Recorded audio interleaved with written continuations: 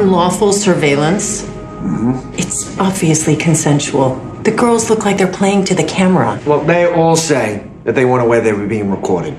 Well, my clients say otherwise. Maybe the girls have regrets now. They swear they didn't know they were being filmed, and they absolutely did not want the video shared. Have you seen the text between the boys? Here's a transcript. Shall we read it out loud? All this proves is that they're idiots. I should know. I'm Brad's mother. Being an idiot is not illegal. But dissemination is, and they're definitely guilty of that. It was just guy stuff. A competition, you know, with like points and everything. We didn't hurt anyone. Why don't we ask Celia?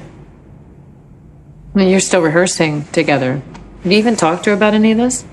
My mom told me not to talk about this to anyone because there's legal stuff involved. My son feels terrible about this being distributed on porn sites and had absolutely no involvement in that. He distributed it via text to all of his dance buddies. First degree, an E felony. Clearly an overreach. Look, maybe this rises to the level of misdemeanor harassment. Hmm. We all know the real felon here. It's Jason. Surveillance, dissemination, it's all on him. My clients can help you make that case.